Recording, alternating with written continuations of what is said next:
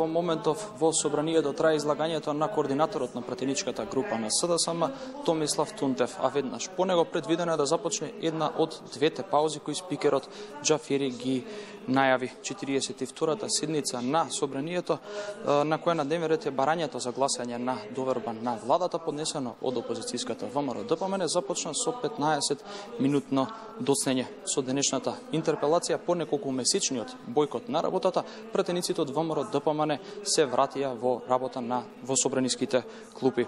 Образложена на 9 страници во 16 точки партијата на Христијан Мицковски со интерпелацијата бара одговорност од СДСМ и од ДУИ со оценка дека се работи за најкриминалната и најнеспособната влада до сега. Првите критики се упатени за партизираност на институциите и отпуштања од работа. Критики има и за донесувањето на законот за езиците, владиниот план 369, но и заложувањата кои ги оценуваат како погубни и преголеми. Според деловникот за работа на собранието, по поставено прашање за доверба на владата се води претрес.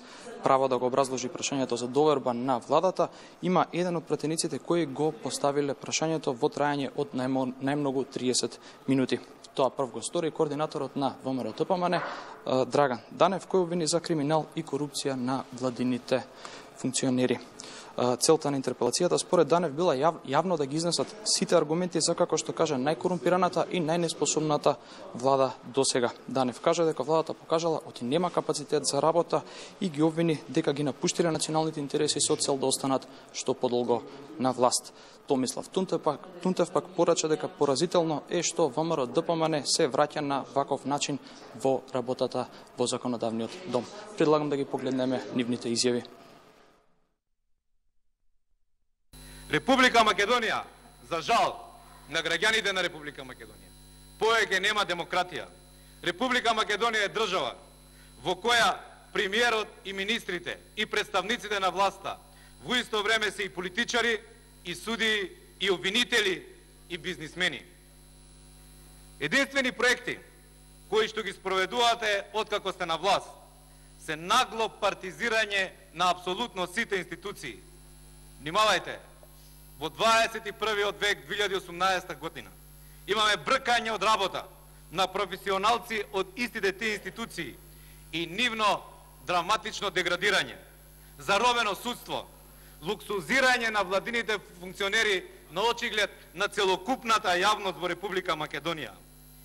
И не само што нема напредок, туку има уназадување речиси во секое поле. Морам да признам дека ова интерпелација или ова барање за доверба на владата е големо разочарување. Зошто? Затоа што прво представува очаен обид да се најде оправдание пратениците од ВМРО ДПМН и коалицијата да се вратат во собранието на Република Македонија.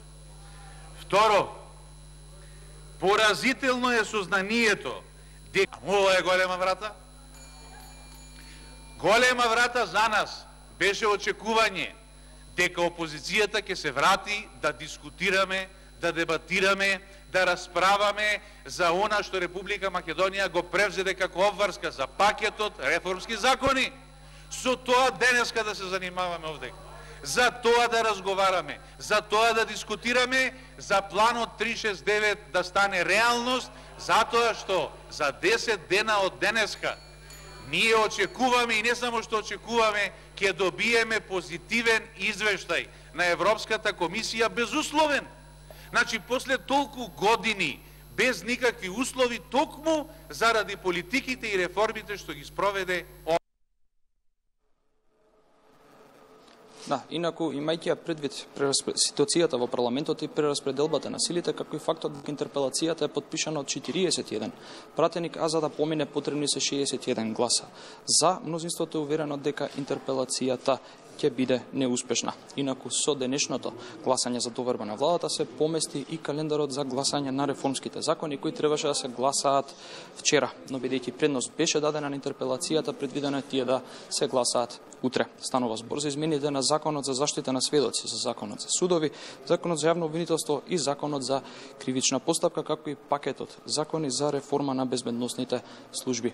Сите тие треба да се усвојат до крајот на неделата за земјава да добие безусловна препорака од Европската комисија за старт на преговорите за членство. Тоа се сите детали за сега со повеќе информации и во следните информативни изданија.